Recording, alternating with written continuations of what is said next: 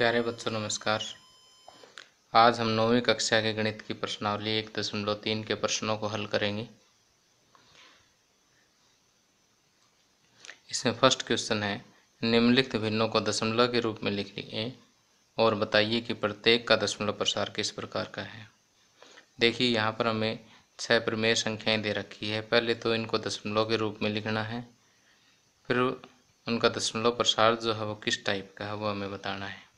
प्रमेय संख्याओं का दशमलव प्रसार दो ही टाइप का होता है। एक तो होता है शांत और एक होता है अशांत आवृत्ति।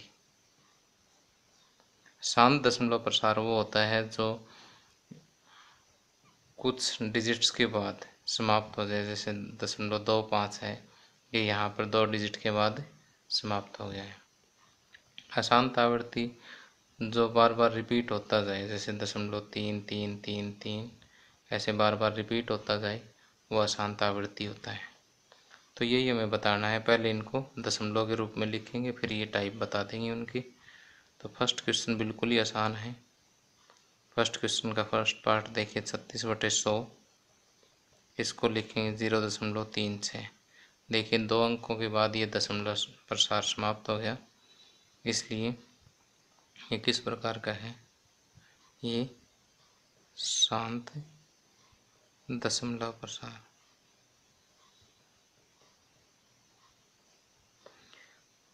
अब सेकंड पार्ट देखिए। सेकंड पार्ट है एक बटे ग्यारह।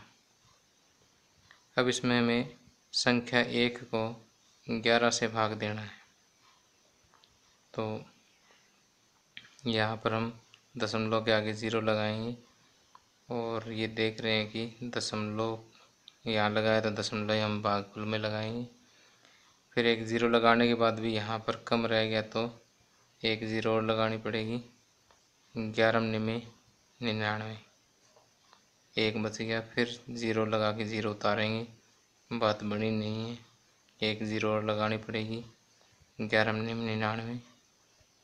फिर शेष एक बच गया, फिर ज़ीरो लगाई ज़ीरो उतारी। ग्यारह निम निन्यानवे देखिए, फिर शेष एक बच गया। देखिए, शेष रिपीट होता गया। अगर शेष रिपीट होता जाएगा तो ये भागफल भी क्या है? रिपीट होता जाएगा। तो हम एक बटे ग्यारह को लिखेंगे। ज़ीरो दशमलव ज़ीरो नौ ज़ीरो नौ ज़ीरो नौ एंड सो ऑन ये ज़ीरो नौ ज़ीरो नौ क्या है? रिपीट होता जाएगा। इसलिए दशमलव प्रसार कैसा है? अशांत आवृत्ति है।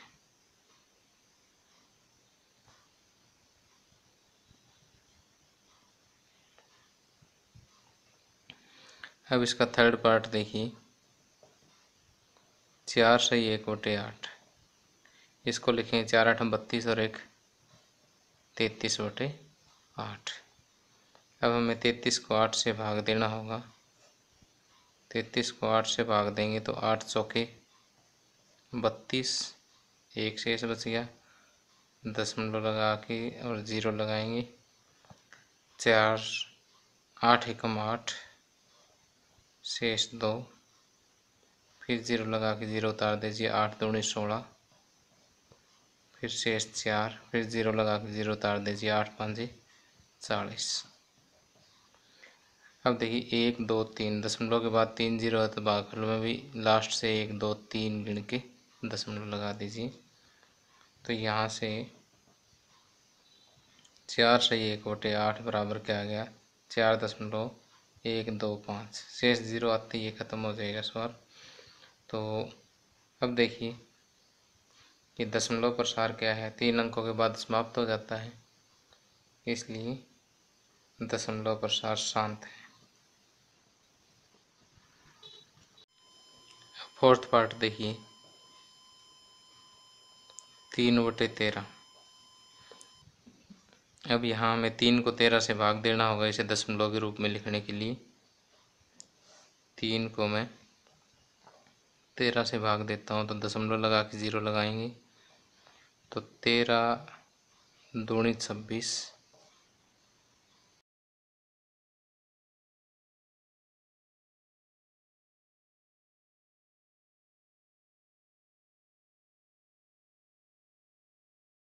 अब देखिए यहाँ पर शेष क्या है? रिपीट हो गया क्योंकि तीन से ही चले थे, तीन ही दोबारा आ गया। अब देखिए आगे ज़ीरो लगा के ज़ीरो उतारते जाएँगे तो ये चीज़ क्या है? बार बार रिपीट होती जाएगी। तो ये रिपीट होती जाएगी तो हम लिखेंगे कि तीन बटे तेरह बराबर ज़ीरो दशमलव दो तीन ज़ीरो सात छः नौ और इसके ऊपर बार लगा देंगे। तो ये चीज़ क्या है? बार बार रिपीट होती जाएगी। जब रिपीट होती जाएगी तो इसका दशमलव प्रसार कैसा होगा? अशांत आवर्ती। तो दशमलव प्रसार जो है वो अशांत आवृत्ति होगा। अब इसी तरह से आपने दो बटे ग्यारह का करना है। आगे फिफ्थ पार्ट है, दो बटे ग्यारह। या दो को हमें ग्यारह से भाग देना है। ग्यारह एकम ग्यारह।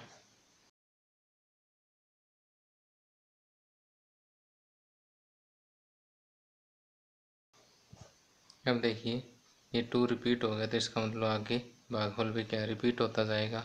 एक, दो, तीन, चार, एक, दो, तीन, चार। तो दो बटे ग्यारह का जो दशमलव प्रसार होगा, वो ज़ीरो दशमलव एक आठ एक आठ एंड सो या एक आठ लिख के इसके ऊपर बार लगा सकते हैं। तो इसका जो दशमलव प्रसार होगा। वो कैसा होगा? अशांत आवृत्ति होगा।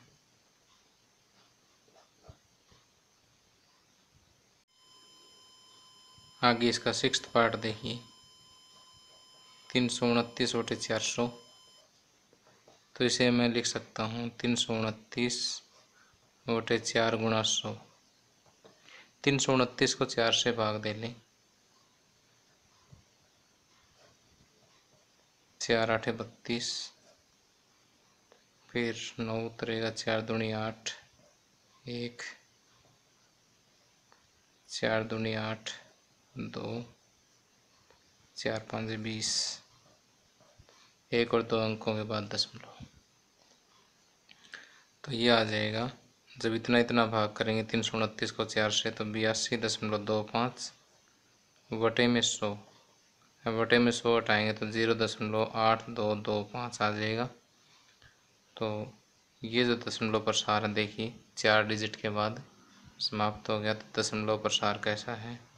शांत है।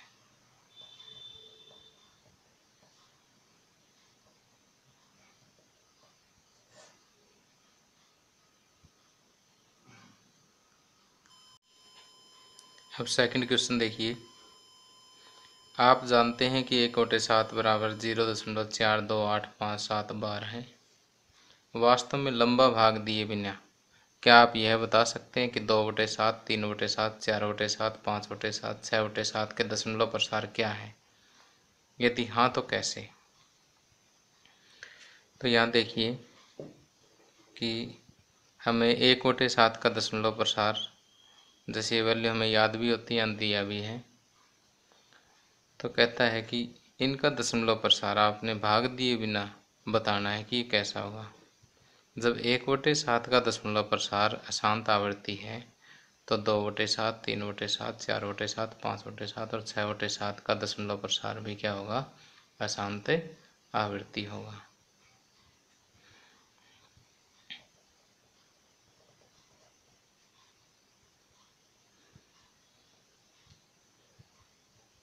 तो यहाँ दो बटे सात, तीन बटे सात, चार बटे सात, पाँच बटे सात और छः बटे सात का दशमलव प्रसार कैसा होगा? अशांत आवृत्ति होगा। और अब दो बटे सात का हमें बिना भाग दिए ही कैलकुलेट करना है किसके बराबर होगा। तो दो बटे सात को मैं लिख सकता हूँ, दो गुणा एक बटे सात दो गुणा एक बटे सात का क्या है? ज़ीरो दशमलव एक चार दो आठ पाँच सात बार है।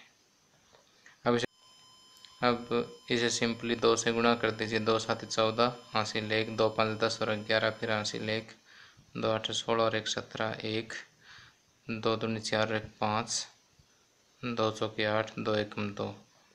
पॉइंट और ज़ीरो अब इसके ऊपर बार लगा दीजिए। तो इस तरह से हम बिना भाग दिए ही दो बटे सात का दशमलव प्रसार बता सकते हैं। और ये इसकी टाइप मैंने ऊपर सभी की इकट्ठी बताई दी है। इसी तरह से हम तीन बटे सात का दशमलव प्रसार भी ज्ञात कर सकते हैं। एक बटे सात के दशमलव प्रसार को तीन से गुणा कर दीजिए, ये आ जाएगा। चार से गुणा कर, चार बटे सात का, एक बटे सात को चार से गुणा कर दीजिए, ये वाला आ जाएगा। पाँच बटे सात का ज्ञात करना तो एक बटे सात को पाँच से गुणा कर दीजिए, ये आंसर आ जाएगा। और इसी तरह से छः बटे सात का भी हम कैलकुलेट कर सकते हैं कि एक बटे सात को छः से गुणा कर दीजिए, ये वाला आंसर आ जाएगा। आपने इस तरह से गुणा करके दिखा देनी है। मैंने समय बचाने के लिए थोड़ा सा ये पहले लिख के रख लिया था।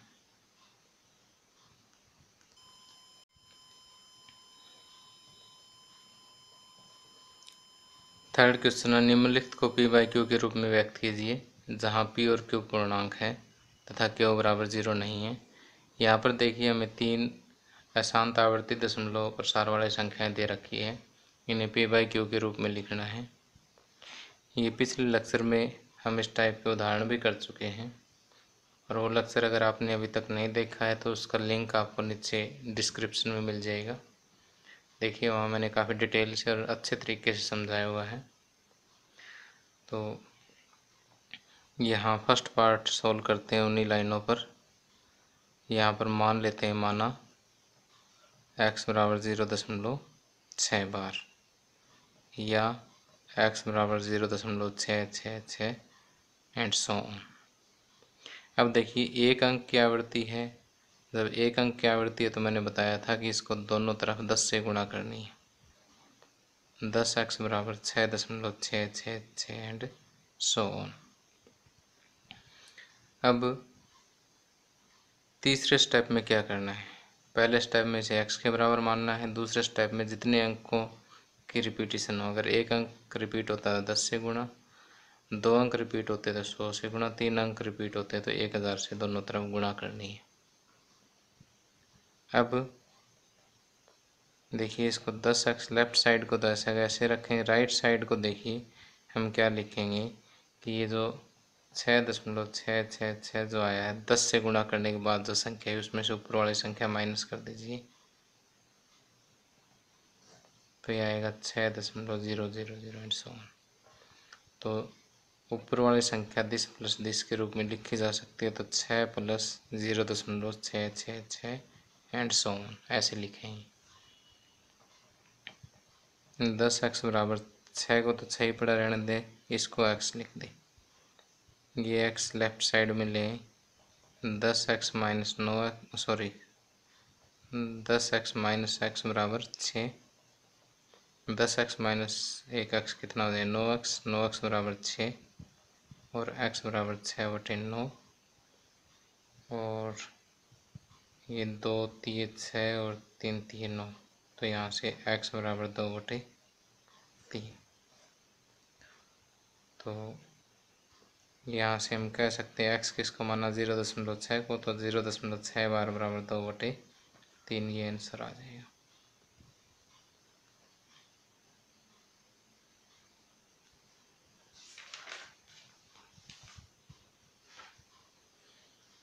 अब देखिए, आगे इसका सेकंड पार्ट है। इसको मैं थोड़ा अलग कलर से कर देता हूँ ताकि दोनों मिक्सअप ना हो जाए। ये है ज़ीरो दशमलव चार सात और सिर्फ़ सात के ऊपर बारह ध्यान रखें। इसे भी हम एक्स के बराबर मानेंगे। एक अंक रिपीट हो रहा है तो हम दस से गुणा करेंगे। दस एक्स बराबर, ये आ जाएगा। इसे थोड़ा खोल के लिख लें। ज़ीरो दशमलव चार सात सात एंड सो दस से गुणा करेंगे तो चार दशमलव सात सात सात एंड सो आ जाएगा। अब तीसरे स्टेप में दस एक्स बराबर। अब दस से गुणा करने के बाद क्या है? चार दशमलव सात सात सात सात एंड सो ये आया। इसको इसमें से एक्स माइनस करेंगे। दशमलव चार सात सात सात। अब देखिए ये तीन आएगा और ये चार। आगे तो ज़ीरो है। दशमलव के बाद ज़ीरो का कोई ज़्यादा महत्व नहीं है। तो यहाँ से चार दशमलव तीन उठाएँगे, प्लस ये बड़ा ज़ीरो दशमलव चार सात सात एंड सो तो यहाँ से दस एक्स बराबर चार दशमलव तीन प्लस ये क्या था? एक्स ये एक्स लेफ़्ट में लिए। दस एक्स माइनस एक एक्स बराबर चार दशमलव तीन। और नौ एक्स बराबर चार दशमलव तीन। और यहाँ से एक्स बराबर चार दशमलव तीन बटे नौ या एक्स बराबर तिरतालीस दशमलव तिरतालीस बटे, ये दशमलव हटा देंगे, नब्बे आ जाएगा। इसलिए ज़ीरो दशमलव चार सात बार बराबर तैतालीस बाई नब्बे। ये आंसर आया देखिए, ये पी बाई क्यू का रूप हो गया। या पी और क्यू दोनों पूर्णांक है। इसी तरह से इसमें भी ये पी बाई क्यू का रूप है। दो और तीन दोनों पूर्णांक है।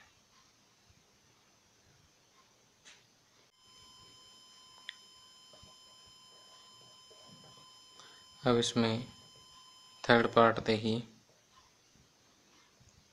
यहाँ पर हमें दिया ज़ीरो दशमलव ज़ीरो ज़ीरो एक और तीनों डिजिट्स के ऊपर बार है। तो इसे x के बराबर मान लेते हैं, या x बराबर ज़ीरो दशमलव ज़ीरो ज़ीरो एक ज़ीरो ज़ीरो एक एंड सो ऑन इसी तरह से कर लेते हैं।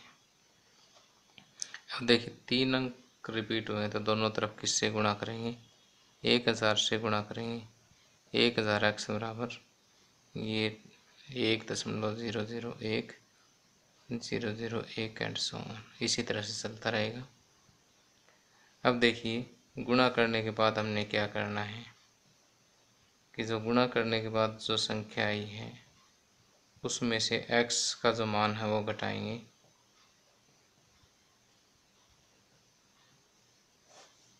तो यह आएगा एक। बाकी आगे तो ज़ीरो आनी सारी। तो लेफ़्ट हैंड साइड में कोई परिवर्तन नहीं करेंगे। राइट हैंड साइड में एक प्लस ये वाला।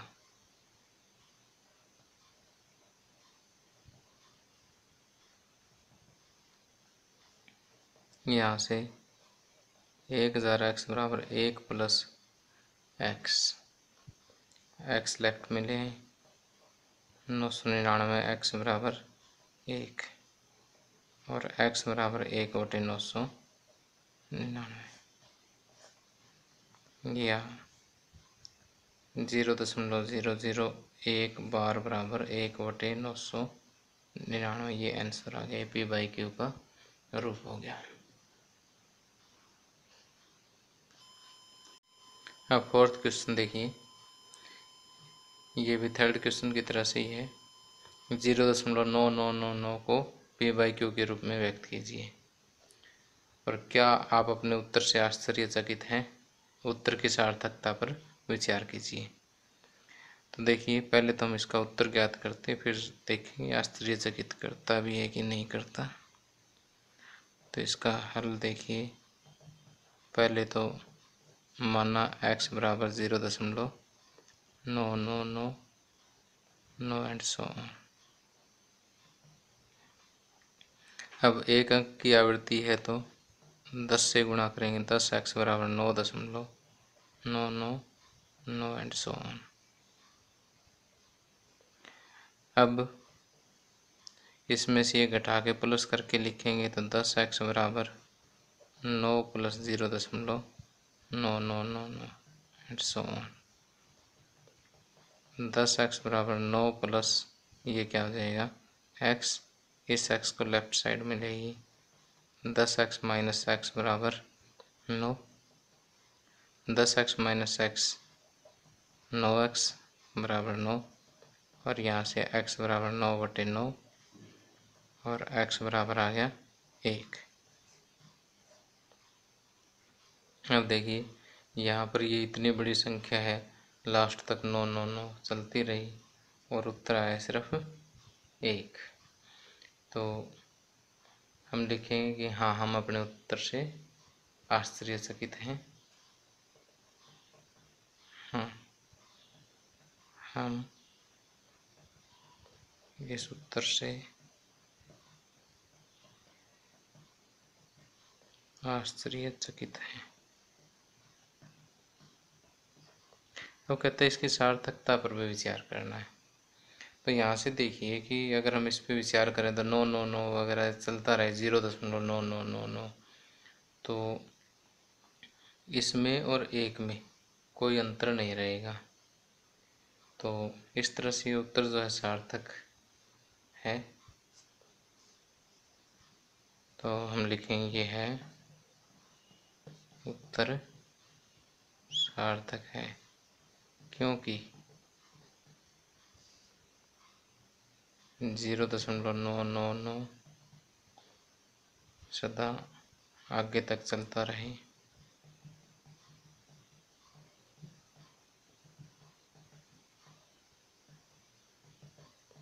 तो ज़ीरो दशमलव नौ नौ नौ तथा एक में कोई अंतर नहीं होगा। अर्थात दोनों समान होंगे।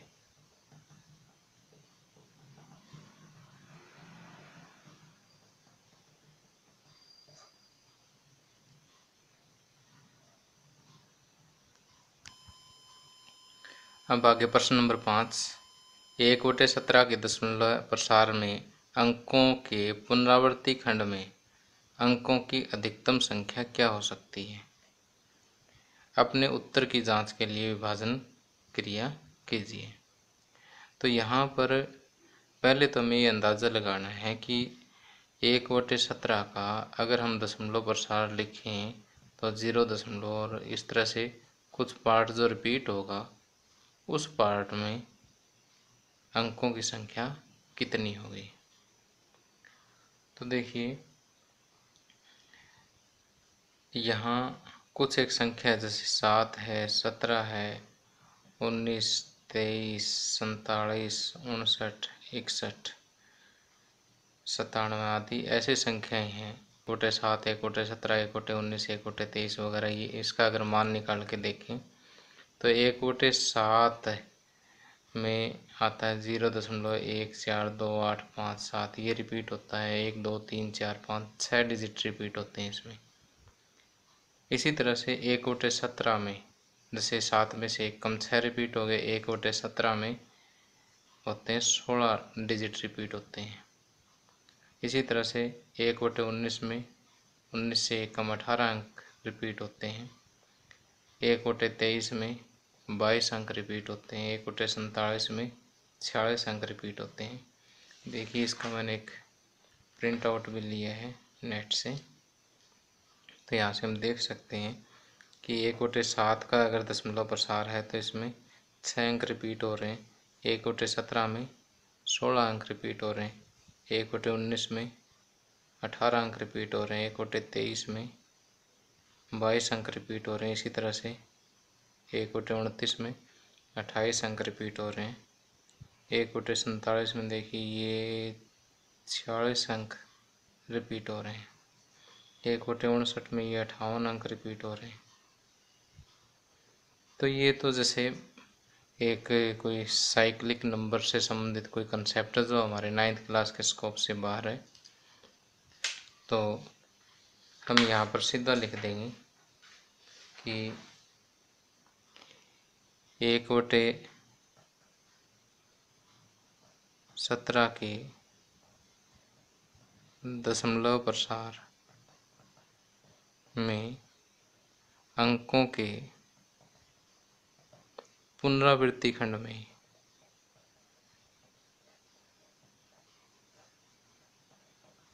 अंकों की अधिकतम संख्या। सत्रह माइनस एक बराबर सोलह हो सकती है। अब अपने उत्तर के जाँच के लिए विभाजन क्रिया कीजिए। अब आपने क्या करना है? एक को सत्रह से भाग करना, जैसे मैं पहले भी आपको ये करके दिखा चुका हूँ।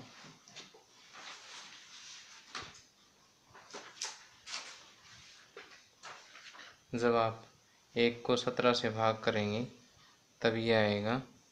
यहाँ पर जो भागफल आएगा, सिर्फ़ वही लिख रहा हूँ मैं। ज़ीरो दशमलव ज़ीरो पाँच, आठ आठ, दो, तीन, पाँच, दो फिर नौ चार double one seven six four seven तो देखिए, बाकी आप भाग तो कर ही सकते हैं, कोई प्रॉब्लम नहीं है। जब तक लास्ट में शेष एक ना आ जाए, तब तक इसको चलाते रहना, यही भागफल आएगा तो इसमें देखिए, इस चीज़ की क्या होगी, पुनरावृत्ति होगी। इसमें एक, दो, तीन, चार, पाँच, छः, सात, आठ, नौ, दस, ग्यारह, बारह, तेरह, चौदह, पंद्रह और सोलह अंक हैं। ठीक? और ये दशमलव प्रसार कैसा है? अशांत आवृत्ति। इसको कई बार अन्नवसानी आवृत्ति बोल देते हैं।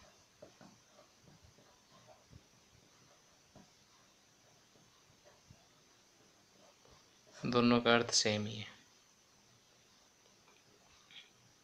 तो आपने यह भाग पूरा करके दिखाना है।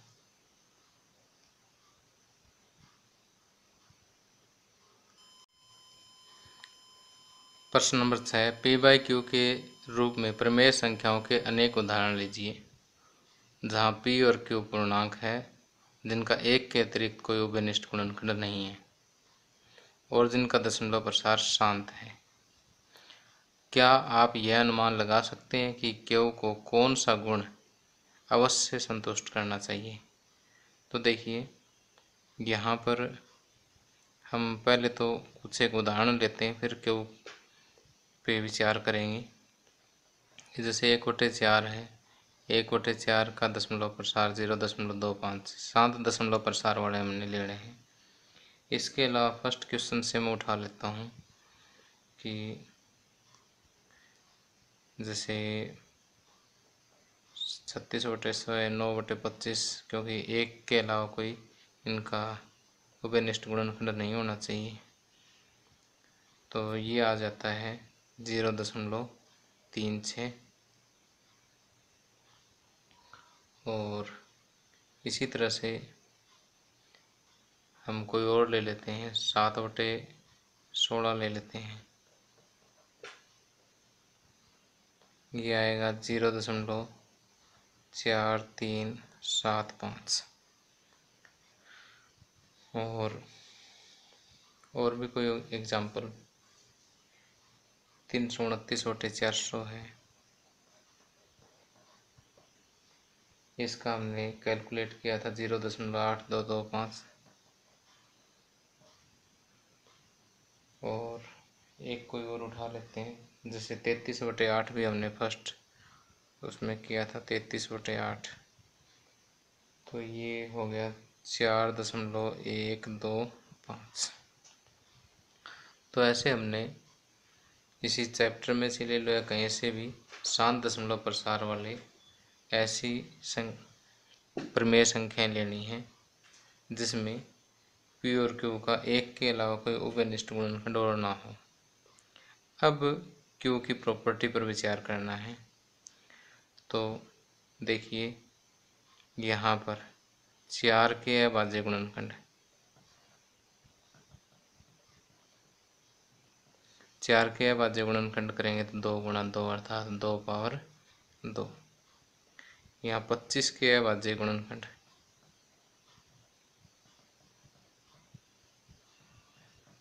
पाँच गुणा पाँच यानी पाँच पावर दो। यहाँ सोलह के है भाज्य गुणनखंड दो दूनी चार दूनी आठ दूनी सोलह यानी दो पावर चार। और यहाँ चार सौ के अभाज्य गुणनखंड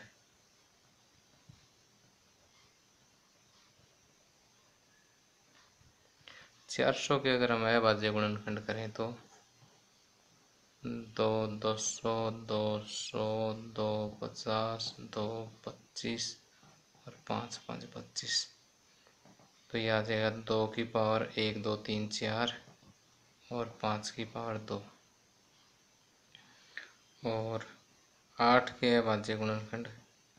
दो दूनी चार दूनी आठ, दो की पावर तीन। तो यहाँ देखिए कि जितने भी आप ऐसी प्रमेय संख्या लोगे, जिनका दशमलव प्रसार शांत है और पी और क्यू का जो उभयनिष्ठ गुणनखंड सिर्फ़ एक है, एक के अलावा कोई नहीं है तो ऐसी संख्या के हर के जब अभाज्य गुणनखंड बनाएँगे तो उनके अभाज्य गुणनखंडों में या तो संख्या दो होगी, या पाँच होगी, या फिर दो और पाँच दोनों होगी। इसके अलावा अगर और कोई अभाज्य संख्या इसके अभाज्य गुणनखंड में आ गई तो उसका दशमलव प्रसार शांत नहीं होगा। तो यहाँ हम कह सकते हैं कि इन संख्याओं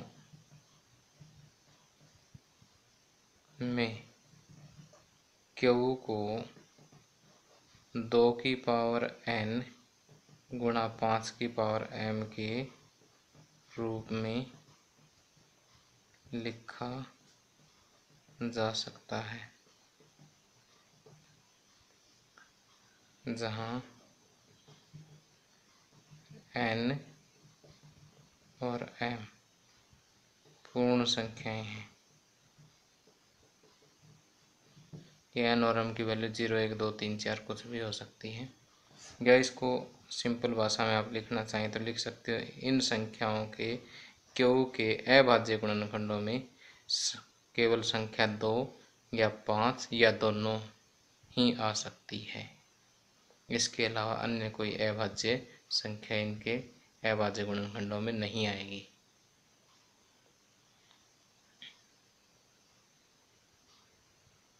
तो यही गुण जो है क्यू को संतुष्ट करना चाहिए।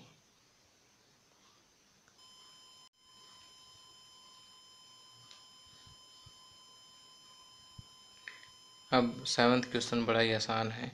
ऐसे तीन संख्याएँ लिखिए जिनका दशमलव प्रसार अनवसानी अनावृत्ति है, अर्थात अशांत और अनावृत्ति, यानी उसमें आवृत्ति भी नहीं है रिपीट भी नहीं हो रहा है, ऐसा लिखना है। तो ऐसी संख्याएँ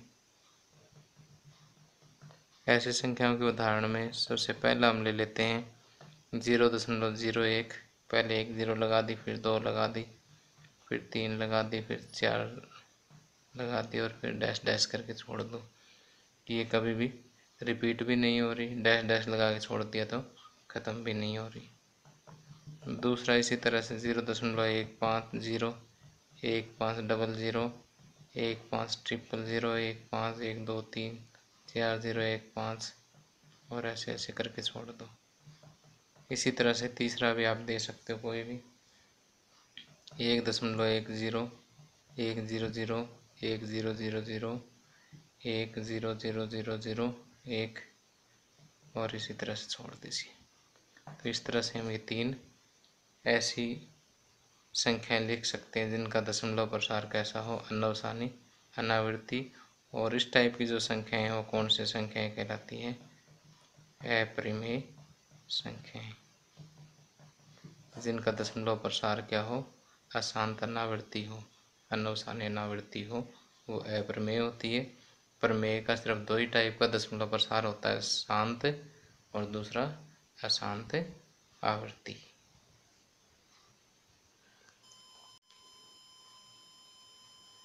इसके अलावा आप वर्गमूल दो, वर्गमूल तीन, पाई आदि भी इसके उदाहरण दे सकते हैं। तो अप्रमेय संख्याओं के असंख्य उदाहरण हैं।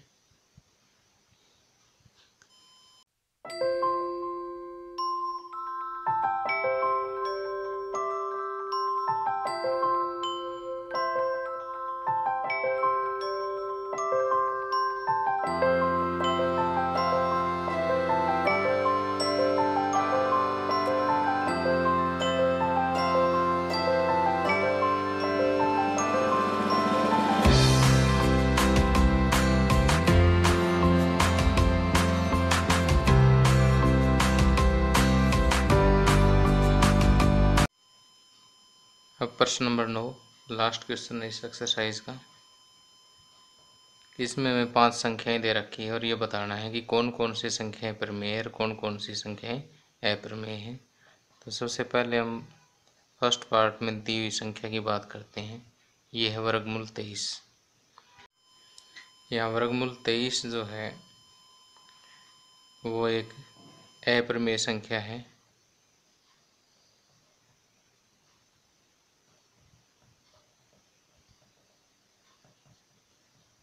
अप्रमेय संख्या क्यों है? क्योंकि ये एक अभाज्य संख्या का वर्गमूल है।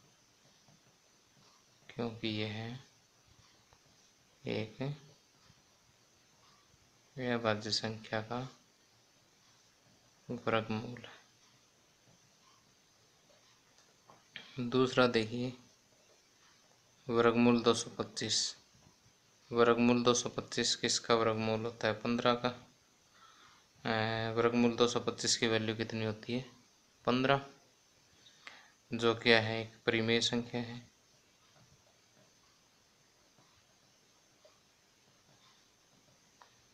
और तीसरा, ज़ीरो दशमलव तीन सात नौ छः देखिए शांत दशमलव है। शांत दशमलव तो ये क्या है? परिमेय संख्या है। यह एक परिमेय संख्या है। क्योंकि दशम दशमलव प्रसार शांत है। क्योंकि दशमलव प्रसार शांत है। आगे फोर्थ पार्ट देखिए। सात दशमलव चार, सात आठ, चार, सात आठ। यहाँ देखिए चार सात आठ, चार सात आठ और ये चीज़ रिपीट होती जा रही है। तो ये भी क्या है? एक परिमेय संख्या है।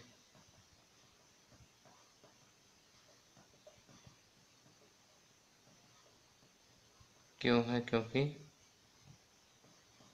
दशमलव प्रसार अशांत आवृत्ति है। या अनवसानी आवृत्ति है। मैंने आपको बताया था कि प्रमेय संख्याओं का दशमलव प्रसार दो ही प्रकार का होता है, या शांत होता है या अशांत आवृत्ति। और पांचवा पार्ट देखिए, एक दशमलव एक ज़ीरो एक, ज़ीरो ज़ीरो एक, ज़ीरो ज़ीरो ज़ीरो एक एक दो तीन चार ज़ीरो एक, फिर डैश डैश। इसका दशमलव प्रसार कैसा है? अशांत है और अनावृत्ति है। अशांत अनावृत्ति है तो ये एक प्रमेय संख्या, अप्रमेय संख्या है। यह एक अप्रीमेय संख्या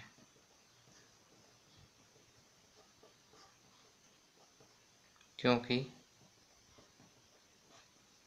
दशमलव प्रसार